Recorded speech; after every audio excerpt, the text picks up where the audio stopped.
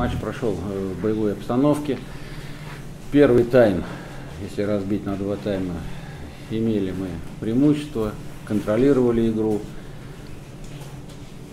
Э, с моей точки зрения, э, ключевой момент все-таки в первом тайме, в концовке забей мы третий мяч, можно было сказать, что мы бы игру выиграли. Второй тайм, эти пять минут – мы сыграли очень плохо, это ошибки в обороне, что привело, мы отдали инициативу сопернику. Счет сравняли, и в этой ситуации было очень непросто на поле. Но мы все равно благодарны ребятам. Парни в такой ситуации, когда теряешь психологию в матче, очень тяжело. Мы имели ряд моментов, даже в такой ситуации, где можно было вырвать игру будь мы лучше в завершающей стадии атаки.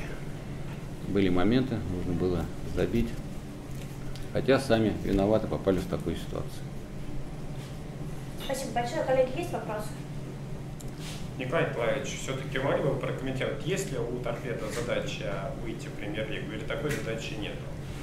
Задачу ставим мы на каждую игру выходить, себя радовать, болельщиков. Пока это не получается, но мы к этому стремимся. Победа в каждом матче. Такие локальные задачи у нас стоят. Настя.